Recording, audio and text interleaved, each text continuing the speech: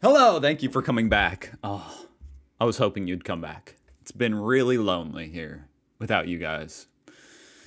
I've got a fantastic video today. I haven't watched it yet, but hey, I'm just going to assume because it's 16 things not to do in Germany. And this is kind of what I've been wanting to get to. Like, what's the what's the etiquette? What's the difference between living in the USA and Germany? Can you just walk around throwing your cigarette butts everywhere on the street? When you walk in the front door, do you say hello to the to the person at the grocery store when you're checking out at the cash register? Do you say hello? How are you? That's what you do here. Um, let's see. But this is what not to do. Okay, so we'll see. Because I don't want to go there and embarrass myself. Let's go. What's up everybody? We are Deanna and Phil. Deanna is from the United States and I am from Germany. And in this video, Perfect. we're going over 16 things that you should not do in Germany. All right, so some of these things are a little more serious, and some of them are going to be pretty funny. So let's just get right into it. I need to know, like, is is the middle finger? That's what you always hear as a kid. Like in this country, if you raise your pinky, that's the same as your middle finger.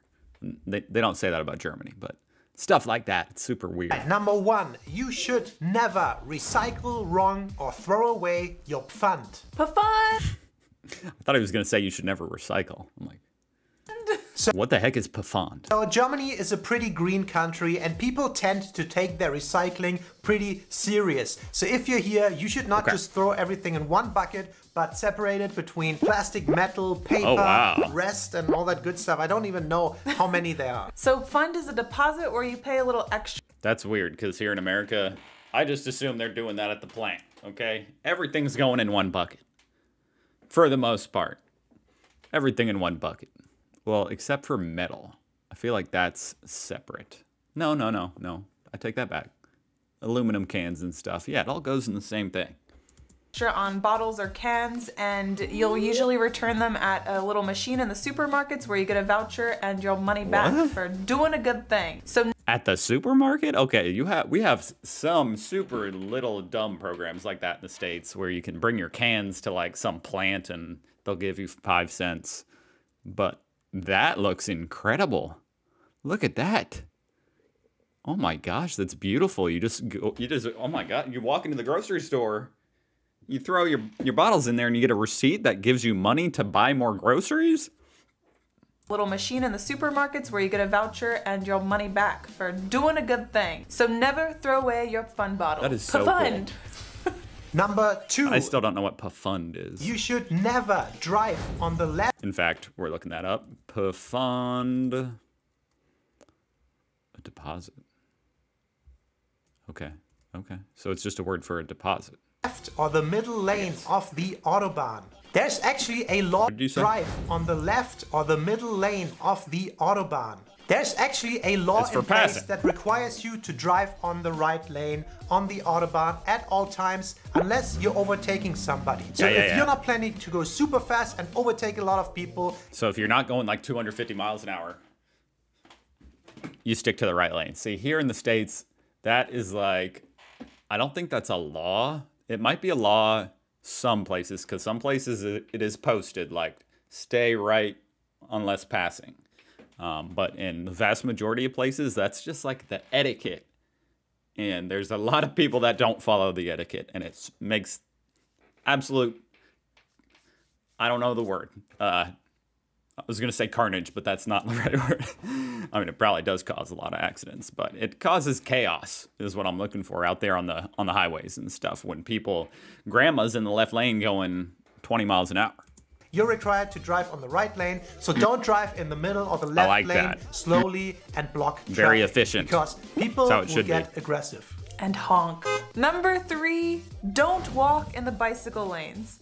In Germany, there are a lot of different bicycle lanes in and out of the city, and especially in student towns, there'll be a lot of bikers. So don't walk in them. Walk in the pedestrian zones or a sidewalk. That's what they're for. Number hmm. Yeah, that's not. I wouldn't say that's common in America either. You're not walking in the bicycle lane. Now we don't have nearly. We probably don't have nearly as many bicycle lanes, but when they are there, um, yeah, you walk on the sidewalk. Not in the bicycle lane. Come on, people. Uh, four, do not address strangers using their first name. It is kind of funny, but in Germany, for the word you, if you address How would you know their first name if, if they're a stranger? somebody, we have two versions. There is du and there is sie. And sie is a polite version. It also implies that sie, you're on a last name basis. So that is the polite version to use. And if you meet somebody for the first time, or especially an elder person, you use Oh, the polite form. You do not use their first name. You are on a last name basis and use the sie instead of the du. And if you get to know a person, So there's kind of two things going on there. There's there's like a separate uh, pronoun or whatever, and then there's also that you you use the last name. I feel like that's two separate things, but they go together. Okay, gotcha, gotcha, gotcha. very well and you're on a friend basis, on a first name basis, then it's fine to use the first name and the do. Du Diana. Du Diana. Number five, don't use public transportation without a ticket. A lot of the public transportation systems are controlled a lot, and there'll be men and women who just appear once the ride has started to check on everyone to see if they have a ticket. Yeah, they're undercover. And the fines are usually kind of high or out of proportion with the ticket prices. Yeah. A number I always have in my mind is 60 euros, but now That's kind of a funny one. Tip: Do not do not steal public transportation. Do not hop the gate. Yeah, I mean you shouldn't do that here in the states either, but people do. nowadays it might be even more like 80 or 100. It's not worth it. Okay, number six, and this is a little bit more of a serious one. You should never show the Nazi salute or joke about Nazis in Germany. Of course, because of the it's a bizarre. I'm sorry to laugh, but uh, okay, someone just walked in front of my window. That was weird. But um, anyway, uh, yeah, you're you shouldn't do that in America either. But I do know there are like different rules, like actual laws regulating that type of symbolism and speech in Germany, right? Like it's not here in America, you would just be like chastised, but in Germany, I guess you'd actually could get in some deep doo doo. the history in Germany, it's kind of a forbidden thing to do. And most of the Germans nowadays were kind of raised by this post World War II anti Nazi generation. Hey, if another good. person comes to the country and does so. anything Nazi related, it's so out of our minds that it's so weird that the world still thinks that. So that's quite offensive, and you should never ever do that. And by the way, Didn't plan on it, but hey, okay. the same thing also applies to sing the old version of the national anthem. And I think around the world, a Oh. couple of people still think that might be it. And it's the one with the Deutschland, Deutschland über alles. That is the Nazi anthem. You're not allowed to sing that anymore. The real one is Einigkeit und Recht und Freiheit, blah, blah, blah. That's the newer national anthem, and that's the only one that's supposed to be sung in Germany. Number Gotcha. seven, don't gossip in English in public. Most Germans have a very decent grasp of hmm. English and they'll probably understand you. I know it's very common when people go to other countries, they tend to gossip in another language. I've heard it spoken in a different languages all the time, and it's a little uncomfortable and embarrassing when other people understand you. So, to avoid uncomfortable situations like that, gossip behind their back. Right, like normal people. What does Gnu mean? But yeah, that's funny. That's like very stereotypical here. Like at the if you're at like a Asian nail salon or something, the little Asian ladies are gossiping in Chinese, and then you'll find videos if you look these up of people being like, "Hey, I I, I know what you just said." I'm not gonna do like a Chinese impression because uh, yeah, I'm just not doing that. anyway yeah, it would be super. If my friend was trying to like gossip in English while we're around the people, that would be so uncomfortable. I'd be like, uh, bro, stop. Number eight, you should never disrespect the German quiet hours. So every day, or rather every night, from 10 p.m. till 6 or 7 a.m. the next morning in Germany, by law, there are quiet hours. So you're not supposed to like play loud music, do construction, or anything like that. Most of the country kind of abides by that rule, which means there's very little noise pollution during the night when you're trying to sleep or relax. And I think it's a kind of a nice thing. So if you do that, the Germans probably will call the police on you because they think they're in the right and they do that and the police knocks on that knock just freaked me out because it sounded. That was that was the video, right? Yeah, yeah. Anyway, um, yeah, there's certain like ordinances and stuff like that around America, depending on the location you're in. Typically, if you're in like a nice neighborhood, yeah, you can definitely get the cops called on you if you're like throwing a party in the middle of the night in a nice neighborhood. Now, with that said, it's still very common. And certainly outside of the nice neighborhoods. Oh, yeah. You never know what you're going to get. I mean, you're, ne- you're freaking, you can live in an apartment complex and people are banging their freaking stereos and their bass and their subwoofers. Your whole bed is shaking. Shut up. And you're banging the ceiling with the broom. Yeah, so that sounds pretty nice there in Germany. We need some quiet hours here too. I'm like, turn it down. Never ever disrespect the quiet hours.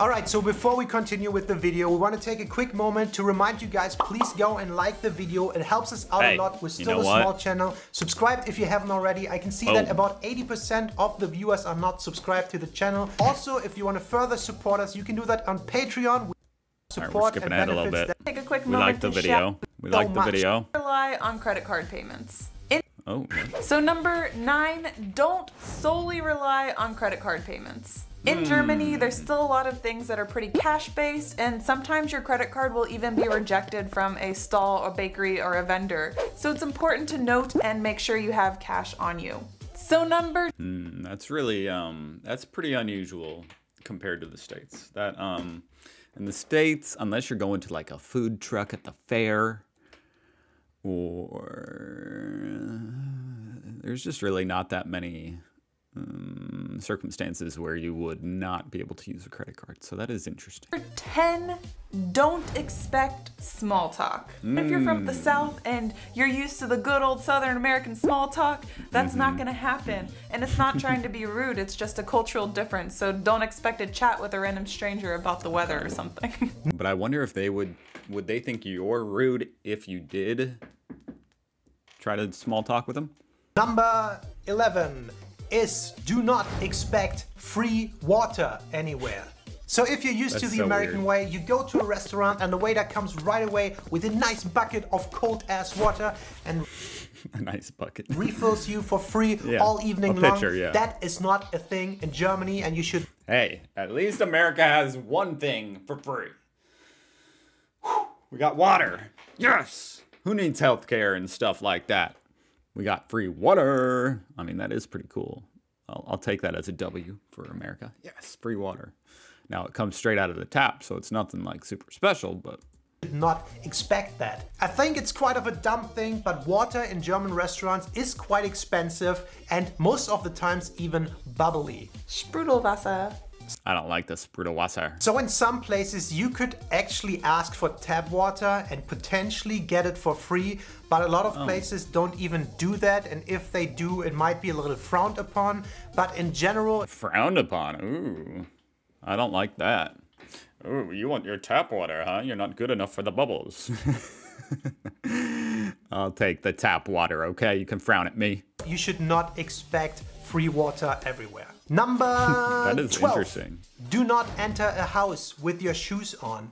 So hmm. all around Germany, it's pretty common to take off your shoes if you enter somebody else's house. Or at least you should ask if you should take your shoes off. And sometimes they say, no, you don't have to. But a lot of times people take their shoes off right at the entrance. That would be considered polite in America, too. Now, if you're going to like a big gathering at a house, like a lot of people, then yeah, it's not like everybody's expected to take their shoes off. But if you're just going over to a friend's house, yeah, usually you take your shoes off. Um, but you'll also have, and it's certainly polite to ask, but you will have people who are like, oh, don't worry about it. Leave them So, there and similar. then just walk around in your socks Leave your dirty shoes in the front. Yeah. I'm kind of curious how many of the households do that. I would say the majority of the households in Germany do that thing and do not walk around with their shoes on. Maybe let us know in the comments below if you had to take your shoes off at your parents' house or how you do it at the moment. Oh, yeah. So number I was not wearing shoes around my parents. 13, don't give advance birthday wishes. Even if it's a day before someone's That's so random. birthday what? and you will not see them on their birthday, do not wish them a happy birthday. It's not Why? their birthday yet. I learned that after coming to Germany. You are not allowed to wish them a happy birthday until on their birthday or after their birthday. Yeah, and I was surprised to learn in the US that a lot of people do that actually. Some people will have a party a week in advance if that just works with their schedule. So much bad luck. Oh, bad luck. Is that what it's about? I'm trying to figure out what. Why? Why? Why can't you just be like, "Hey, happy advanced birthday"? Um, yeah, you do that all the time here in the states. If you're not going to see them, hmm. But it's considered bad luck, huh? Hmm. Number 14 is kind of a very serious one. You should never, ever expect to be dressed in a sauna on every beach. All right, this is kind of a What? expect to be dressed in a sauna on every beach. On every beach? Okay, wearing clothes in a sauna. Yeah, that's weird. Now,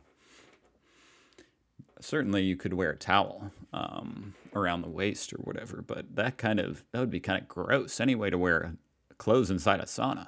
Uh, but what does he mean on a beach? He's throwing me off with that. All right, this is kind of a funny one. We just wanted to throw that in there.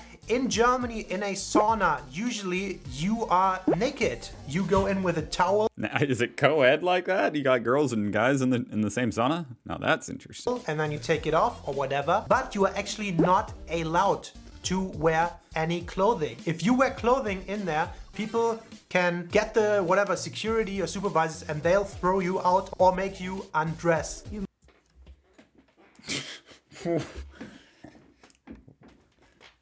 What? That's like the most interesting, odd, like it's like reverse. I don't even know what like, like hey, take your this guy isn't taking his clothes off. Kick him out of here. Get him out of here. Now I'm trying. I was thinking like, I have worn a bathing suit in the sauna, so I'd be kicked out, huh? That's crazy. Yeah, yeah, yeah, yeah. If I go into a public sauna, I'm not the type to really be interested in being completely naked. I'll wear the bathing suit because usually they're at the pools and stuff. So I'm already in the bathing suit. So yeah, I'll wear the I'll wear the trunks, go in, sweat. It's all good. That's so weird. Get this guy out of here. He's got pants on. You must be naked. Yeah, there are also parts of beaches in Germany that are especially for nakedness, nudity. beaches. yeah, nude beaches. We call it FKK, Freikörperkultur. And on these beaches, you have to be naked. It's not allowed to wear any clothes. Like fully naked? yeah, fully naked. Yeah, so I've yet to go to a nude beach or a nude sauna, but um, I'm open to it. Ho ho. okay. Um, that's just interesting that it's like you have to be naked. That's, huh, huh. I, that's really interesting. Like I would think it's like, yeah, of course you at a nude beach you can be naked, but I wouldn't think it's like, oh, you, you have to be naked. Like get out of here, bro. If you're wearing pants, leave. Should I be concerned? Why? Just gonna be a whole bunch of older people. So number 15, don't abandon your shopping cart. I feel like in the US sometimes they'll be shopping I'm such like a I spend so much time online. I was literally thinking she meant like an online shopping cart. like your Amazon cart. Like you can't put the stuff in your Amazon cart and then abandon it. okay, at, at the at the grocery store. Yeah, that's rude. That's rude. Now people will s- sometimes do it. I mean, it's rare you find yourself in the circumstance where let me let me let her finish because I don't know exactly what circumstance. it carts spread throughout the parking lot. Ah, the parking lot. I thought they meant in the store. Yeah, people be doing that, and it. Oh yeah, that's annoying. and they'll just be like a shopping cart ghost town. In Germany, that is not the case. You need a coin to Well, that's what they need. Yeah, like if you did that, I think Aldi's does that here, and that's a German. Isn't that a German uh, grocery store? Yeah, at the Aldi's. Hey, look, it says Aldi right there. That's an Aldi's. Uh, yeah, I think here in the states there are a lot of Aldi's where you have to give a coin. I think that's how it is at Aldi's. Access Yeah, yeah, yeah. And guess what? There's no carts in the parking lot. cart, and you also want your coin back, so you have to return the cart to Oh, I didn't know it popped in and out like that. Oh, that's cool. That's smart. get your coin back. And it's a good system, it's nice, and there's not abandoned shopping carts everywhere. And our last point, point number 16, is in Germany, you should not jaywalk. We ain't in New York City. Ever? Yeah, but we're kind of in Berlin, so let's say you should not, but a lot of people still do it. Although I think the majority of the people kind of follow the rules and they do not jaywalk. You should always cross where the little traffic light is and then only when the When green the man mannequin, tells you. not the red one. Hmm, and it's okay. not that hardly persecuted, but you can actually get fined if you get caught in the act. I mean, it sounds it sounds similar to the United States, but it does sound like you guys take it a little bit more strictly. Because here in the U.S., there is there is really no issue with jaywalking. Like you can, people don't see an issue with it. You know, you can just, no one would judge you. You just do it. Now it's it's safer to use the crosswalk, and when the little dude turns white, so that's what the majority of people are doing in the city. But if it's clear, yeah, run across the street, nobody cares. act jaywalking. So the police sees you, gets you, and I don't know how much it is 5, 10, 20 euros, something like that. So you should not jaywalk in Germany. All right, so those were our 16 Awesome. Okay. Well, shout out to Dina, Deanna, and Phil. That was an epic video. Yeah, okay. I learned some interesting things there about Germany. Interesting, interesting. No free water. Wow. Are the bathrooms free? I know some countries don't have free bathrooms, but anyway, I guess I'm going to learn that in another video. Um, ooh, I'm going to have to watch some more of their videos. Eight things to bring and not to bring. Ooh, interesting. Okay, so subscribe for that. I think that's probably what I'll watch tomorrow. Um, and go check out these guys' channel. I like these guys. Um, that was super fun. Thank you guys for watching. Um, I hope you subscribe, but either way, just watching, I appreciate it. And I hope you have a fantastic day.